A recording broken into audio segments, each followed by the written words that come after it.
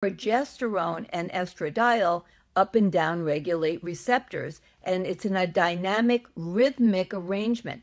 We are rhythmic creatures. We're beautiful rhythmic creatures. We have circadian rhythms, we have seasonal rhythms, and we have lunar rhythms. The lunar menstrual cycle is a 28 plus or minus a little bit cycle. And what happens when you have the beginning part, estradiol alone will increase its own receptor function. It will upregulate testosterone, progesterone, and thyroid receptor function. So all those hormones will work better, more optimally. And when you have the progesterone on board, progesterone downregulates testosterone receptor function, downregulates estrogen, particularly the alpha receptor function, to stop growth and proliferation. Okay, so you have this beautiful dynamic between these different hormones.